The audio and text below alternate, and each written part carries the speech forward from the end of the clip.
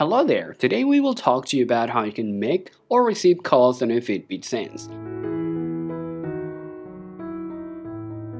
Making or receiving call is not complicated on Fitbit Watch, but some users are having problem in terms of making call and receiving calls on their Fitbit Watch. Therefore, before you start to receive or just make any calls, you need to toggle on some of the settings on your device and your watch itself.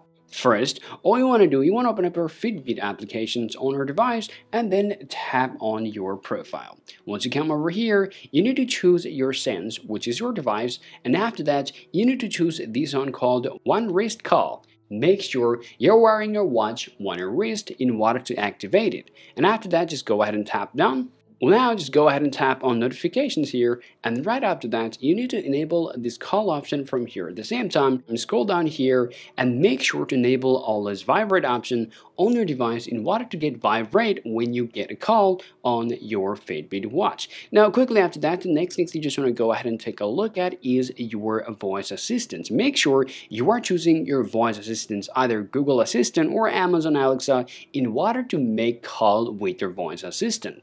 Well, once you choose one of that here or once you just get activated, well, the last things you want to do, you need to turn off the do not disturb mode on your watch. And once you have done that, and then you'll be ready to receive call or make call. Now first, let's go ahead and see how to just receive a call. Now, just get a call on your phone.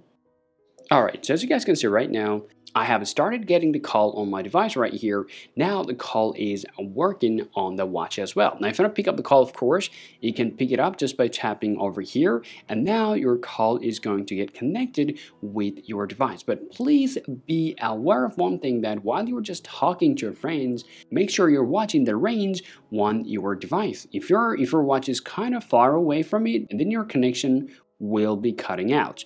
Well, now let's go ahead and learn how you can make a call just by using your watch. Well, now this time, to make a call by using your watch, come over here and then simply tap on Assistant and say, Hey Google, call Max. Well, as soon as you ask your voice assistant, either Google Assistant or Amazon Alexa, your call is going to start happening from your Android or your iPhone. So this is pretty much what you guys can do in order to make call, receive call by using your watch and this is how you can do it. Hope you found this video useful. If you think so, leave a like and subscribe to the channel. Thank you for watching and I'll talk to you later.